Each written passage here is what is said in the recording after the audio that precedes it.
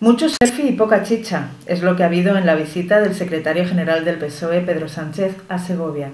Después de visitar el ayuntamiento, el líder socialista se ha paseado calle Real abajo hasta el azoguejo, como hacen los miembros de la familia real, prodigando sonrisas y besos, pero sin querer atender a los medios de comunicación.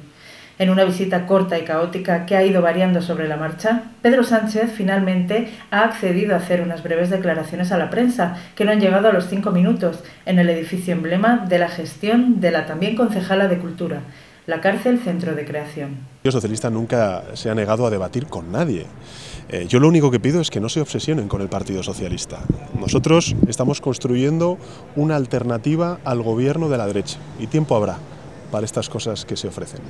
No sé qué va a hacer el presidente Mas. Yo creo que lo que tiene que hacer el presidente Mas es eh, cumplir con la legalidad y sobre todo abrir ese proceso de renovación constitucional que estamos pidiendo los socialistas. Nosotros le decimos a los catalanes que queremos desde el resto de España a Cataluña dentro de España, la vanguardia de España y no fuera de España.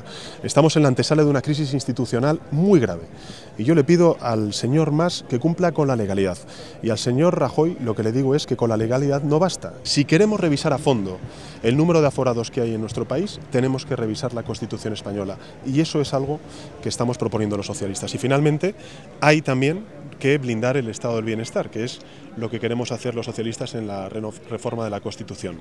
Allí Pedro Sánchez ha escuchado a los miembros de los AMPAs de Educación Especial y ha respaldado la candidatura a la alcaldía de Segovia de Clara Luquero.